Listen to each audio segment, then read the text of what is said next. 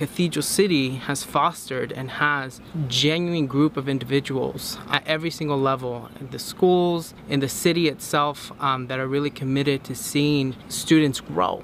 My name is Sergio Rosas and I live in Cathedral City, California. So I grew up in the area um, called Dream Homes. I mean, really started here at Agua Caliente Elementary School.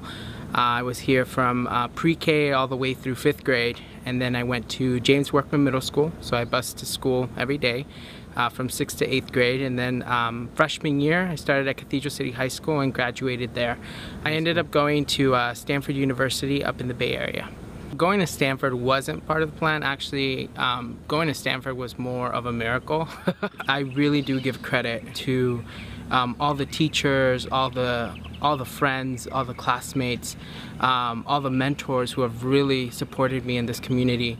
There's been a deep investment in my growth um, and it all started here and I acknowledge the opportunities that were given to me and, and I'm really thankful for that.